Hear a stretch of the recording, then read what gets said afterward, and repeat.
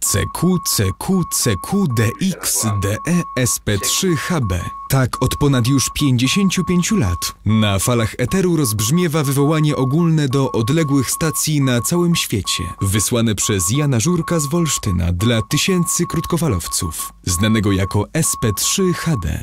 Stefan Paweł III Halina Dorota. Pan Jan Żurek ma obecnie 85 lat.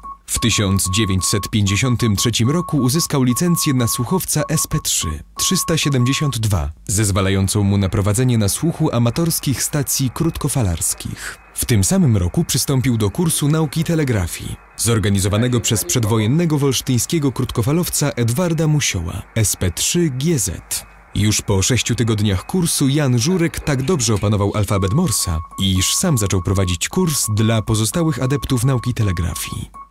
Edward Musiow zgłosił Jana Żurka na egzamin dla telegrafistów do Poznania, który młody wolsztynianin zdał z drugim wynikiem i otrzymał licencję radiooperatora ze swoim nowym, niepowtarzalnym na całym świecie indywidualnym znakiem nadawczym SP3 HD. Wraz z Edwardem Musiołem, Antonim Napierałą, Leonem Zboralskim, Erykiem Świerkowskim i Franciszkiem Kaczmarkiem, pan Jan Żurek stał się założycielem pierwszego wolsztyńskiego klubu krótkofalowców SP3 KBD, który mieścił się innymi na poddaszu miejscowego ratusza i z ośmioma licencjonowanymi krótkofalowcami był jednym z prężniejszych klubów w całej Polsce.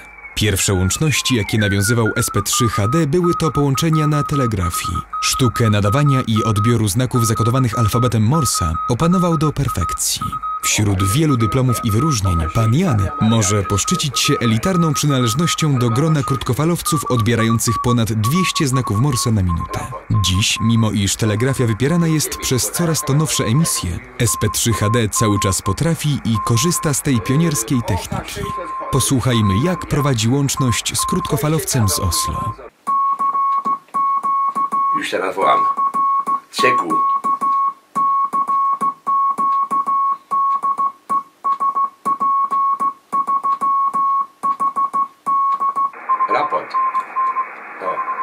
5-9 podaję, ale właśnie tak jak mówiłem. Yy, OH6 to jest Ho- F- Finlandia.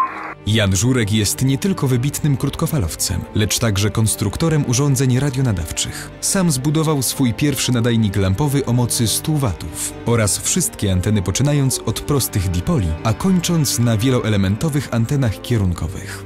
W czasach, kiedy podzespoły elektroniczne były towarem deficytowym, poświęcając swój wolny czas i długoletnie doświadczenie przez 5 lat budował swój pierwszy tranzystorowy transceiver.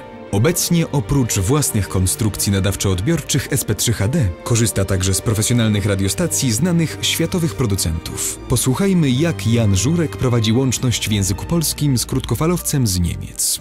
W każdym razie daję Tobie mikrofon. DJ3, Delta Mike. Proszę bardzo, Andrzej, słuchamy. SP, SP3 Quebec Franek Ludwik wraz z gośćmi, z operatorem tutaj i również krótkofalowcem e, SP3 RBQ. SP3 RBQ, możesz zapisać. RBQ. Jasiu, dobrze, oczywiście, no tą drogą można by, trzeba by przesłać te życzenia wszystkim laureatom na czele z Tobą. Burmistrzowi też przekaz piękne pozdrowienia, że nie zapomniał o seniorze dzięki wojskowi. Każda łączność na falach eteru to prawdziwa przygoda. Nie każdego dnia udaje się nawiązać łączność z odległymi krajami.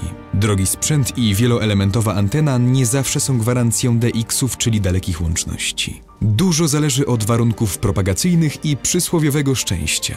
SP3 HD może jednak poszczycić się łącznością z ponad 40 tysiącami różnych stacji, z 300 państw ze wszystkich kontynentów. Są to tak odległe kraje jak Nowa Zelandia, Japonia, Kanada, Chile, Urugwaj, Pakistan. Międzynarodowa brać krótkofalarska to jedna wielka rodzina. Na falach eteru wszyscy są na ty, a Jan Żurek może pochwalić się także, iż przeprowadził łączność ze swoim kolegą z Jordanii, z królem Jordanii JY1. Co ważne, aby łączność uznać za zaliczoną, radiooperatorzy powinni wymienić się swoimi znakami, podać swoje imię, określić poziom słyszalności, podając tak zwane raporty oraz podać nazwę miasta, z którego nadają. Zważywszy na 55 lat aktywnej pracy pana Jana na falach eteru i dziesiątki tysięcy przeprowadzanych przez niego łączności, nazwa Wolsztyn okrążyła Ziemię już setki razy i jest znana krótkofalowcom na całym świecie.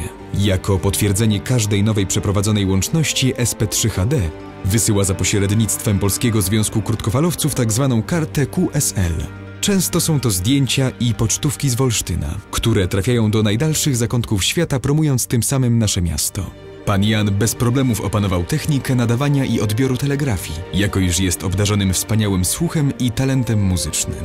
Gra na akordeonie jest oprócz krótkofalarstwa jego drugim hobby. Posłuchajmy jak gra pan Jan.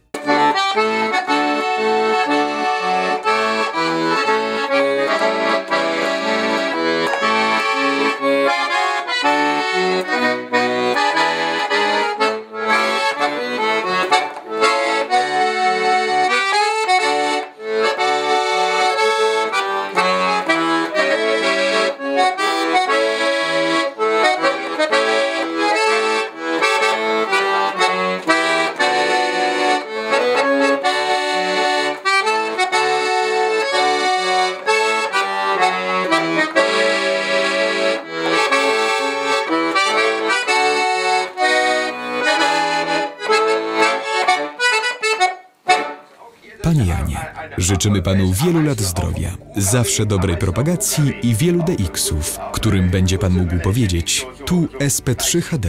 Jan, nadaje z Wolsztyna.